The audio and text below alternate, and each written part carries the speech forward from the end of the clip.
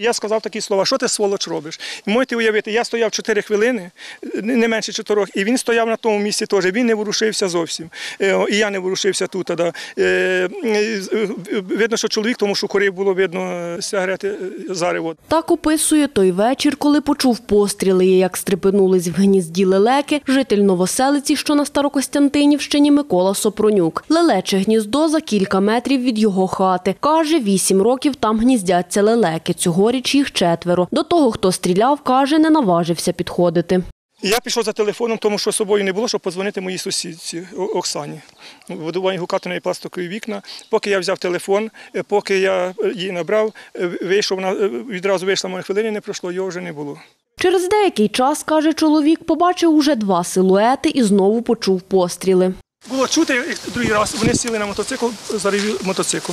Коли невідомі поїхали, із сусідкою пішли перевірити, чи немає поранених птахів. І якраз коли ми проходили, о, і цей е, лека лежав коло, е, ну, коло тих хащів. Коло, Е, Вона перша його взяла, ще він її, е, ніс десь рятувався. В общем, я його заніс, вже побачив тут, а хлів, що він перебите крило. Крило.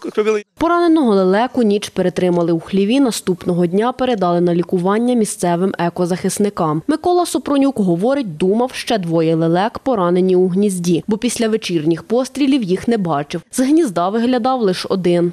Гніздо лелек на електричному стовпі.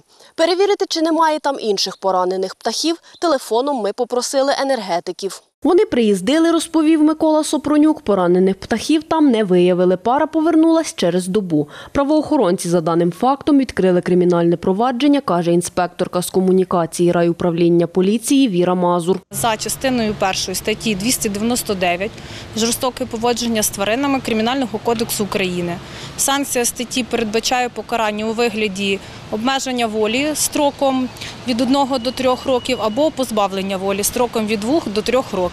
Адвокат В'ячеслав Тарадуда говорить, відповідальність за ймовірну стрілянину в птаха в населеному пункті може мати декілька складових. Ми говоримо про момент можливої кримінальної відповідальності, наявності складу кримінального правопорушення. Це щонайменше за статтею 296 частиною 4. Хуліганство, злісне, е, злісне порушення громадського порядку з мотивів явної неповаги до суспільства.